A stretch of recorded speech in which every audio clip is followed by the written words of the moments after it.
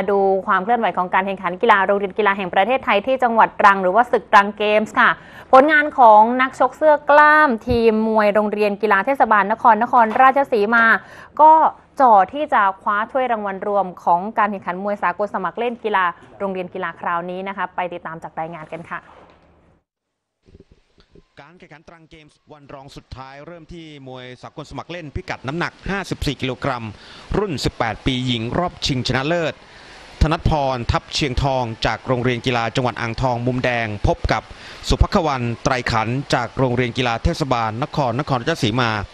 คุณนี้มาสนุกในยกที่ 3 ธนัทพรคะแนนเป็นรองเดินหน้าลุยใส่แต่ว่าสุภควันนักชกโคราชอาศัยเชิงชกดักต่อยทำแต้ม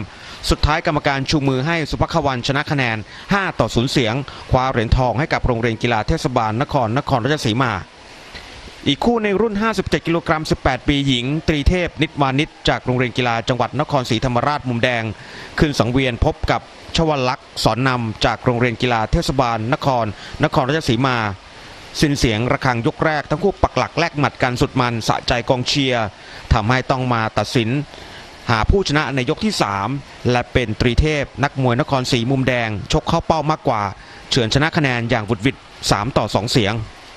ส่วนทางด้านกีฬายิงธนูปิดฉากลงแล้ว พร้อมความสำเร็จของแชมป์เก่าโรงเรียนกีฬาจังหวัดลำปาง กวาดไปมากที่สุด 9 เหรียญทอง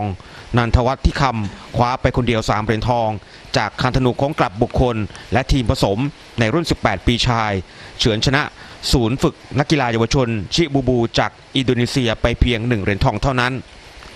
สำหรับในวันพรุ่งนี้ตรังเกมส์วันสุดท้ายชิงเหรียญทองฟุตบอลชาย ฟุตซอล และเซปักตะกร้อ รวมถึงพิธีปิดการแข่งขัน ที่สนามกีฬาเทศบาลนครตรัง